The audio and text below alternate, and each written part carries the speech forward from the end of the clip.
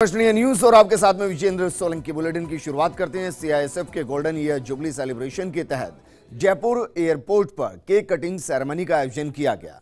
ADG crime B L Soni airport निदेशक J S Balhara और CISF की कमांडेंट वीआईपी ने जवानों की मौजूदगी में केक काटा और एयरपोर्ट पर 19 साल के सफल कार्यकाल को लेकर रंगारंग कार्यक्रम प्रस्तुत किए। बतौर मुख्य अतिथि बीएल सोनी ने जवानों को सीआईएसएफ के कामकाज में ज़ीरो एरर का महत्व तो बताया। कमांडेंट वाईपी सिंह ने यह भी बताया कि कंधार प्रकरण के बाद सीआईएसएफ को बतौर सुरक्षा के लिहाज से जयपुर एयरपोर्ट की ज़िम्मेदारी सौंपी गई। लेकिन बेहतर कार्यकुशलता के चलते देश भर के इकसठ हवाई अड्डों की सुरक्षा का काम सीआईएसएफ संभाल रही है। बीएल सोनी और जे एस बलहारा ने जवानों की बाइक रैली को हरी झंडी दिखाकर रवाना भी किया। ये ये एक ऐसा सेक्टर है जिसमें कि जैसे मैंने निवेदन किया कि पासिंग मार्क्स 100 परसेंट है।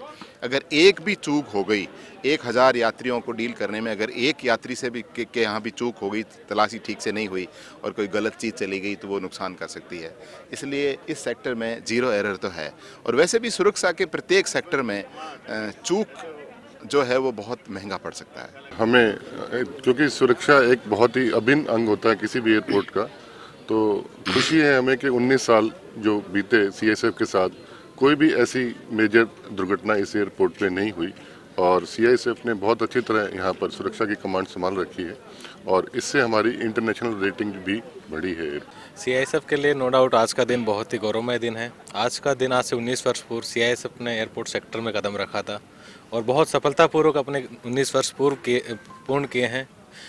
एक एयरपोर्ट से आज हम 61 एयरपोर्ट्स पे पहुँचे हैं अपने कर्तव्य के प्रति निष्ठा और ईमानदारी ईमानदारी से।